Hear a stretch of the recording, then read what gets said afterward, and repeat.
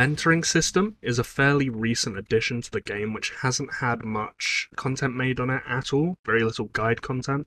So I thought I'd do a video uh, highlighting some of the details of perhaps why you might want to give more attention to this event than you previously have been.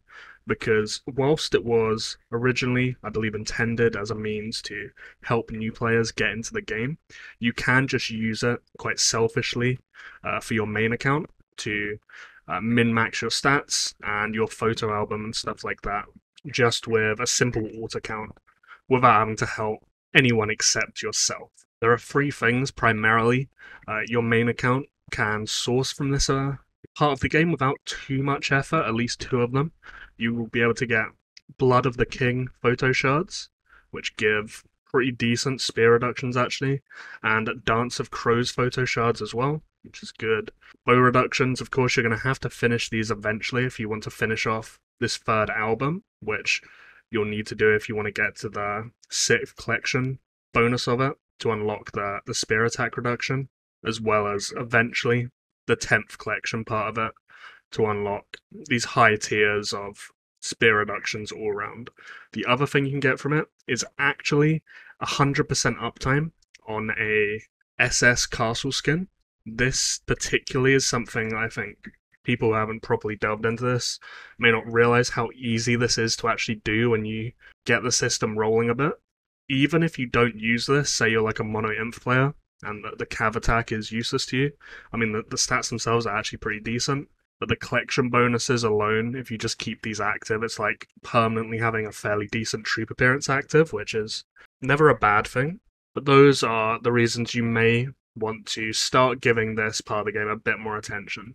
So to access this system, if you just go to the social tab, so if you click chat or any other way to access this screen, you'll see this bottom down here, mentor apprentice.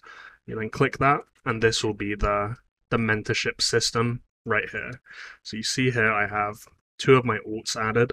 Now there'll be three primary ways of adding players as apprentices. One, which is how I added these, you'll just add them as a friend. So you add your own account. Here, this is my alt. So I just added myself effectively.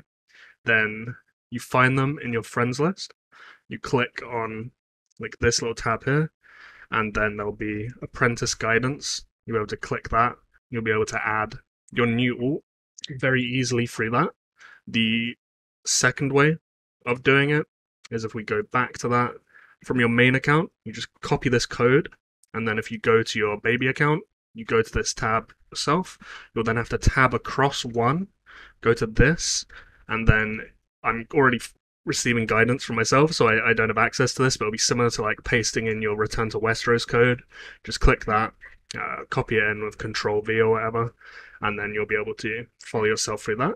And then the final method will be this Hall of Guidance tab up here. So this will be available for both. So this is the apprentice side. You'll be able to have mentors post themselves, which you can then follow. Alternatively, if you go to your main account, you can go to the apprentice bulletin board, and if there are any apprentices up there, you can then guide them through that.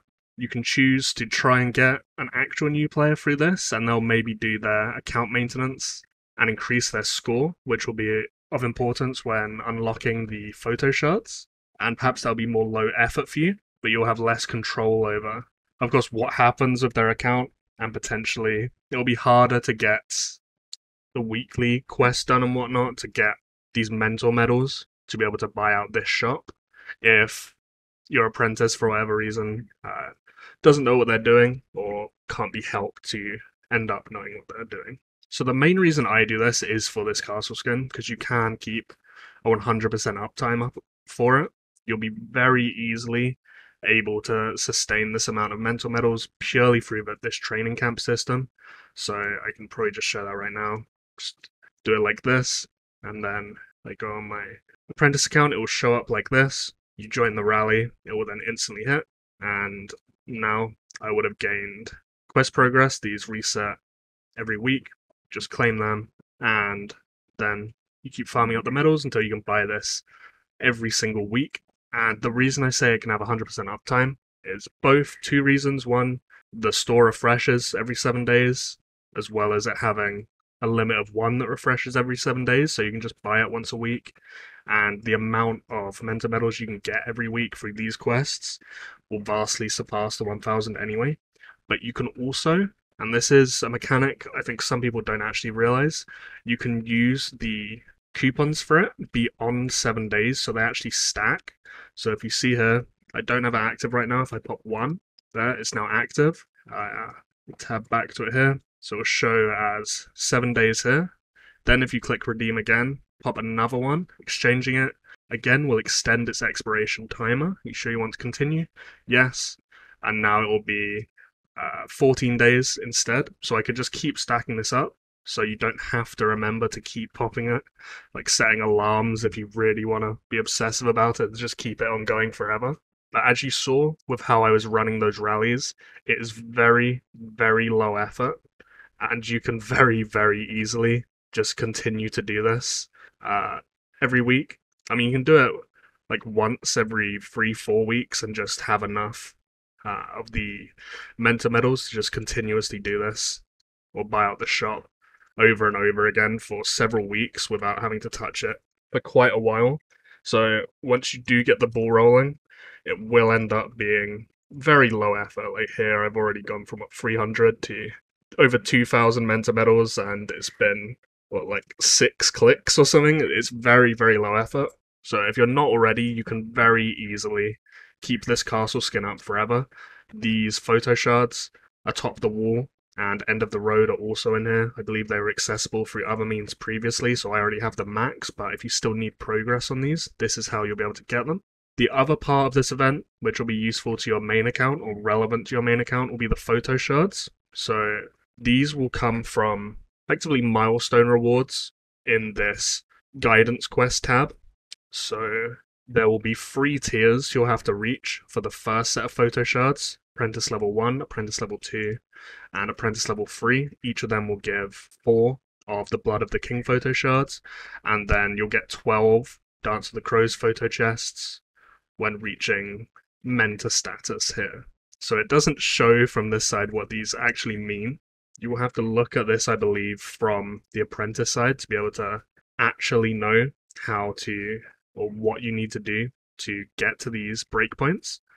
Once you reach one of the milestones, though, it will then update to the next milestone, and you won't be able to see the previous requirements, so I'll just go over them now. So I tab back to my main account just to show this. So apprentice level 1 is 5000 personal score and castle level 17.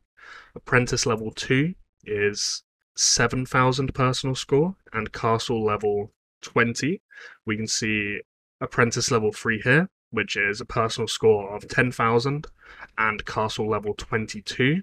And then finally, the mentor status will be castle level 25 and personal score of 40,000. So it's a big jump there. So these first three chests are much easier to obtain than the, the mentor chests, which means those first photo shards, unless you're prepared to put in significant amounts of effort, will be the, the more realistic thing to obtain short term. If there are newer players watching this and wondering what personal score even means because it is a bit of a hidden mechanic actually. Um, I have had some people DM me about this also and ask this question. So if you want to see your personal score, it's it shows it obviously in uh, the progress here where it says you're at 7055 but the way you'll see it at any time and see what contributes to it click on your power up here in the top left then here where it says total score hover that and this will be your personal score and also, if you scroll this across, you'll see all the sources of your personal score. So you see here, primarily my score is coming from city and all from buildings. So the, the best way to get to 10k at least would just be rushing to Castle 25. That will give it fairly naturally. You don't have to spend any BD or anything like that. Uh, my best advice would realistically just play the game, build your account up like you did at first when you first started playing the game realistically. Just follow the tooltips if you're a new player keep putting all your speed ups and diamonds into keep keeping progressing your your castle because it forces you to upgrade other things on the way anyway. When you're at castle 25, you should have the 10k score fairly naturally. Getting it to 40k for that second set of photo shards will be a lot harder, and you will have to put a lot more effort in to do that long term.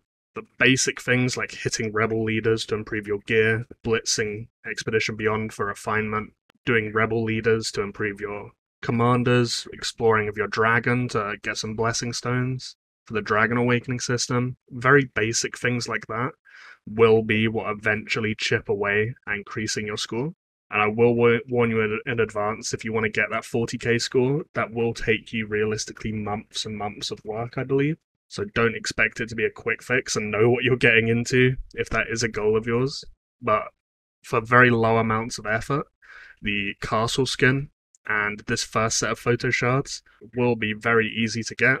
And also, long term, if you do want to min max your account, you are going to need to get those Dance of Crows photo shards to be able to uh, complete this album because that you're going to be losing a lot of stats here if you miss out on this. 20% spear health and defense reductions. So you're not going to be able to put this off forever unless you do some shady stuff and people do it for you and just trade you the skills for, for other stuff i guess which i'm sure max accounts have the systems and whatnot in place to be able to to manage that for normal people like us though uh, maybe not so much I may well do a video in future of more specifics on the mentoring system, but I thought this could be just quite a nice little video to, to bring attention to some of the things you might not have thought about in regards to the system already.